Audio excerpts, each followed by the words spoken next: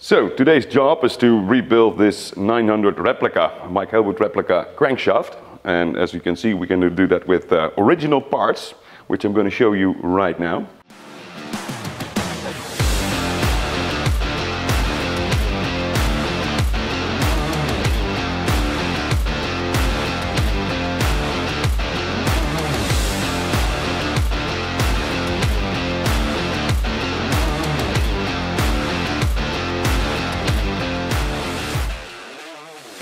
So these are the original crankshaft webs um, that have been cleaned out. As you can see here is a sludge trap. You can see right through it. No dirt or sludge trapped left inside there. Um, so these are all measured and good to go. Next up is a set of original but refurbished uh, conrods and a brand new uh, 38 millimeter pin that we're going to use. And this has all been measured because the uh, well, the clearance on the big end bearing is what is critical in this case. Uh, we can see later on what that clearance and how the clearance is, is actually uh, set and what it should be. And then uh, last but not least, we have a set of original bearing cages that have been silver plated and a brand new set of rollers, three millimeter rollers to go into these bearings. And obviously a set of thrust washers uh, on the side. So now this is coming together and we'll show you how that is done. I'm going to measure the distance between the crank pin hole in the webs and the crank pin itself. And I'm using this very nice Mitutoyo device and um, well just have a look what I'm doing.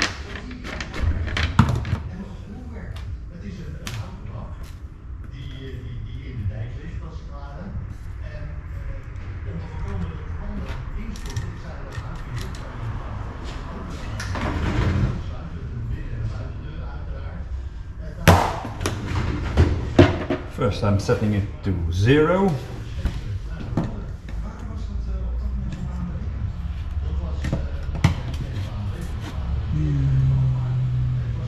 you can see it's almost there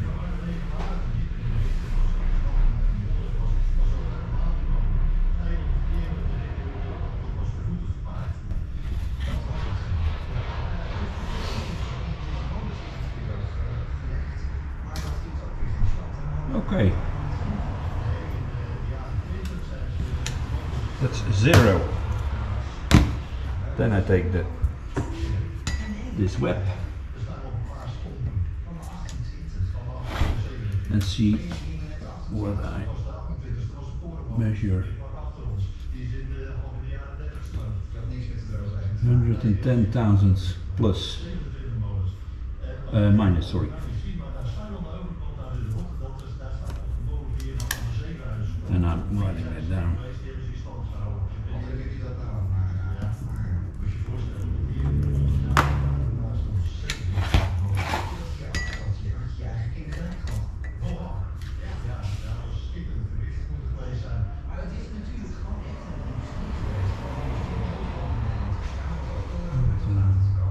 15 to be exact.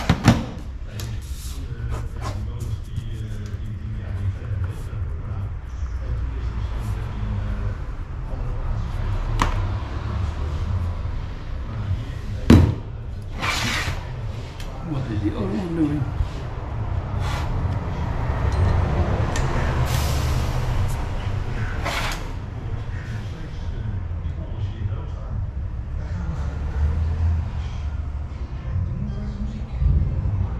almost 85.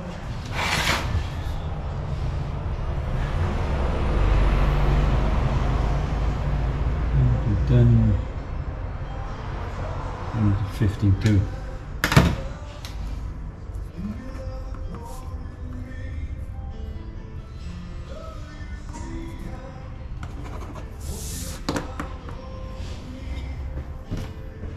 Check if it's still zero.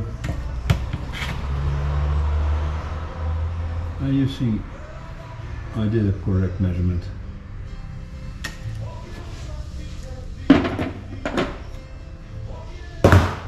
For measuring the crank pin I have this very nice Mitutoyo electronic uh, thing and also this one needs to be set at zero before measuring.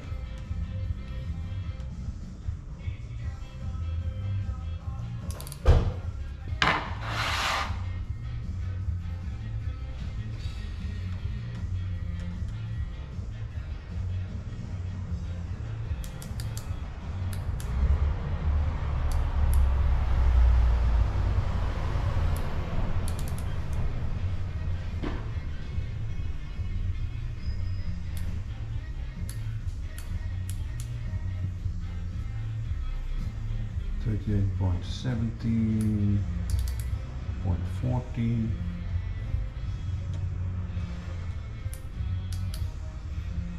Point seventeen. Sixteen. Thirty-eight point zero seventeen. Other side.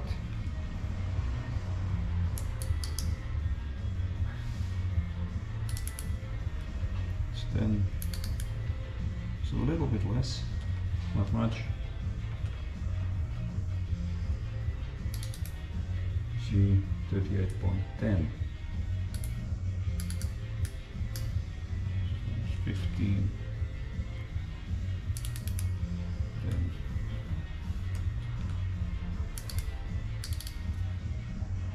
thirty-eight thirteen.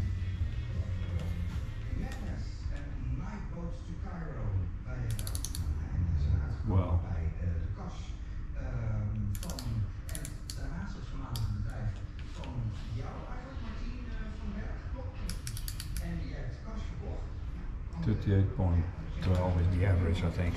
That's about 38.12. So you see it's a little bit less. This is the pin. Okay. That's it.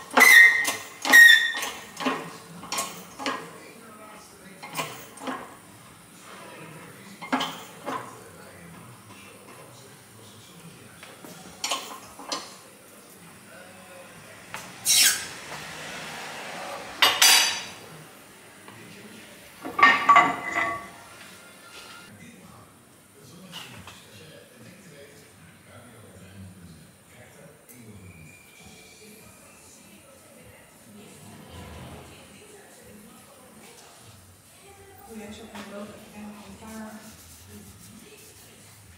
Moest ik maar even zeggen. Nu wel. Door je elke keer verschillende radio's. Ja. Je.